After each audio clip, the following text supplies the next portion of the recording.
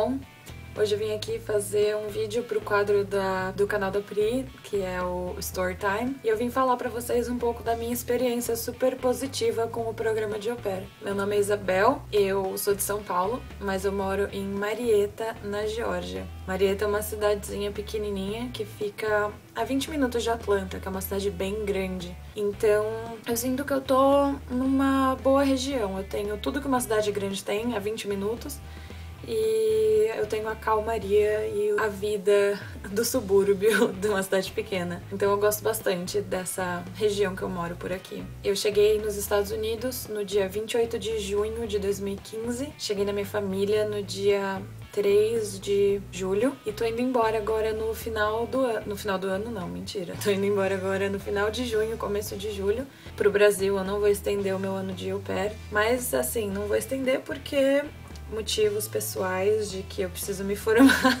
e a minha mãe falou assim: Ó, oh, filha, você precisa dar um rumo na sua vida agora, né? Ela não gostou mais da brincadeira de cidadã do mundo e eu preciso voltar pro Brasil e me formar, então não vou estender meu ano de au pair. O meu match com essa família aconteceu porque quando eu comecei a pesquisar sobre o pair, a primeira coisa que eu fiquei sabendo é que você não podia se apegar muito à região que você queria morar. Eu obviamente vim com expectativas de ir para a Califórnia e acabei na Geórgia.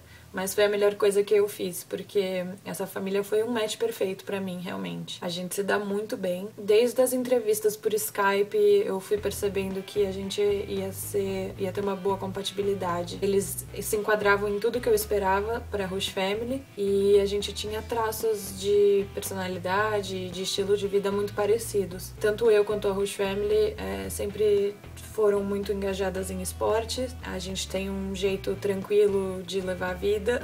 Eles não são muito radicais com nada, nem com organização, nem com alimentação, com nada, assim. São bem tranquilos. E isso para mim é muito importante, porque foi assim que eu fui criada, né? Eu cuido de três meninas, elas têm quatro, 7 e 9 anos e elas são os amorzinhos da minha vida. Eu até fiz uma tatuagem para elas para eu poder eternizar essa experiência. Eu peguei um trecho do livro All the Places You Go, do Dr. Seuss, e elas escreveram com a letra delas e eu tatuei no meu braço. Foi isso o tanto que elas significam para mim. Eu amo muito essas meninas e só de pensar em ir embora já tá me dando um aperto no coração, um nó na garganta, porque vai ser triste dizer tchau. Eu acredito que aqui a minha Rush Family encontrou um jeito de ter um balanço muito bom entre fazer você se sentir parte da família e fazer você ter o seu espaço e a sua liberdade e o seu tempo off respeitados. Eu acho que isso acontece bastante aqui e é muito importante. Foi uma das razões que eu me senti assim tão bem de morar por aqui. A minha roxa sempre me estimulou muito a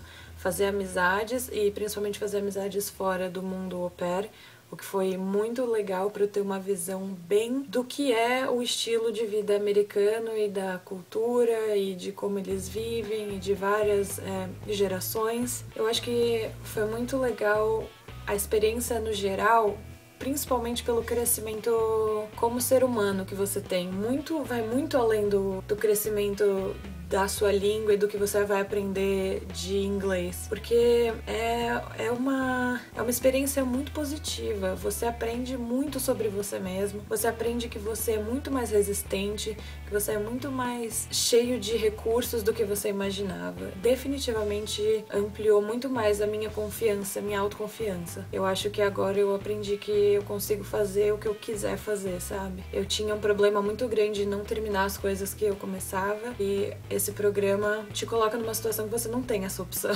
Foi muito importante para mim isso. A minha experiência no geral foi válida de cada centavo. Com certeza atingiu e ultrapassou as expectativas que eu tinha e foi algo que realmente mudou a minha vida. Eu me sinto muito respeitada aqui nessa casa. Ela fez questão de que meus pais viessem visitar e ficassem aqui e recebeu meus pais super bem. Eu recebi amigas, eu recebi meu primo, então eu senti mesmo que eles queriam que eu me sentisse bem aqui com eles, sabe? A gente nunca. A casa aqui não é uma coisa cheia de luxos. É, eu acho que o que você tem que ter na cabeça é que você não pode se apegar a bem material. Tipo, ah, eu vou ter o carro do ano. Meu, meu carro é uma minivan que todo dia eu tenho que rezar para ela pegar e para ela não morrer no meio do caminho.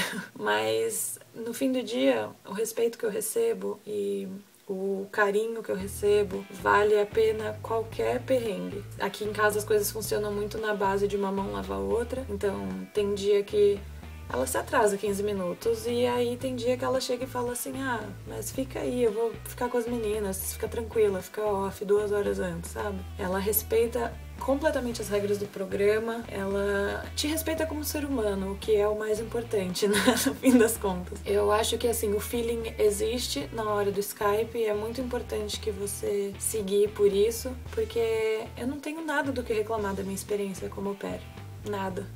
Eu tenho consciência que também é muita sorte. Eu dei muita sorte desde o começo com a minha atendente da Cultural Care no Brasil, que era incrível. Eu dei muita sorte com a minha LCC, que é uma pessoa iluminada, e com a minha família, que eu não tenho palavras para descrever o que foi essa experiência aqui com eles. Eu trabalho muito, mas eu cuido de três crianças super bem educadas, super respeitosas, super carinhosas e no fim do dia eu tô cansada, mas eu tô feliz, sabe? E, e é isso que importa amo essas crianças como se elas fossem da minha família. Assim, eu acho que a conclusão geral é que é uma experiência válida e entre você ficar em casa imaginando como seria se eu fosse e você arriscar ter uma experiência ruim porque você vai é um risco que você corre sempre. A vida é feita de riscos, né? A gente não pode ficar em casa só imaginando ou vivendo a vida dos outros pelo YouTube ou qualquer coisa que seja. Meu celular vibrou, desculpa. Então, é, a vida, você tem que viver a sua vida. O pior que vai acontecer é você voltar pro Brasil, né? Então.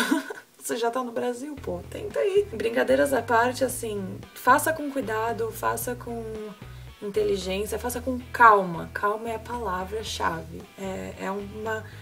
Esse programa vai exigir de você calma em todas as etapas. Do, da primeira vez que você entra na agência até a hora que você estiver aqui na casa da Roche Family fazendo suas malas para ir embora. Tenha calma, tenha bom senso, saiba o que você quer, saiba o que você espera do programa e venha. Venha crescer como pessoa, venha aprender inglês venha fazer novos amigos, venha conhecer o mundo. Viagens e conhecimento são as únicas coisas que ninguém nunca vai poder tirar de você. Eu recomendo esse programa para amigas, é, recomendo para qualquer um e acho que é válido e é interessante. Eu não tenho nenhuma rede social assim que eu interajo muito, a que eu mais falo é o Snapchat. Então, se você quiser me adicionar no Snapchat, é Isabel Vigneron. Eu vou deixar, vou mandar escrito pra Pri, aí se ela quiser ela deixa ali no box de informações. Acho que é isso. Se vocês tiverem dúvidas, quiserem falar comigo, fiquem à vontade para entrar em contato. Eu sou sempre no grupão Isabel Vigneron, me procurem. e é isso aí. Então, um beijo, espero que tenha ajudado aí uma luz, que também existem histórias positivas nesse mundo louco que é ser uma pé. Um beijo e até o grupão, talvez, quem sabe.